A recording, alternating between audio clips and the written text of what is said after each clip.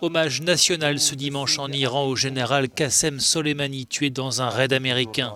Une foule immense s'est massée autour du convoi funéraire dans la ville sainte chiite de Mashhad, dans le nord-est du pays. Première journée d'un deuil national de trois jours pour saluer la mémoire de cette figure très populaire et influente dans son pays, véritable architecte de la stratégie militaire iranienne au Moyen-Orient. Téhéran promet de venger son assassinat et doute des menaces de représailles américaines. La guerre des mots, elle, a bel et bien commencé. Le meurtre du général Soleimani est un acte odieux et injustifiable. Les Américains font des commentaires pour détourner l'attention et faire oublier ce qu'ils ont fait, mais je doute qu'ils aient le courage de lancer un conflit et de frapper des sites en Iran.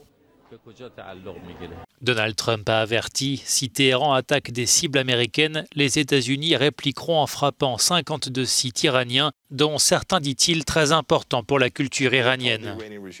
Le régime de Téhéran ne peut pas utiliser sans impunité des forces par procuration et penser que l'Iran sera en sécurité. Nous allons répondre aux véritables décideurs de ce pays, ceux qui sont à l'origine de la menace.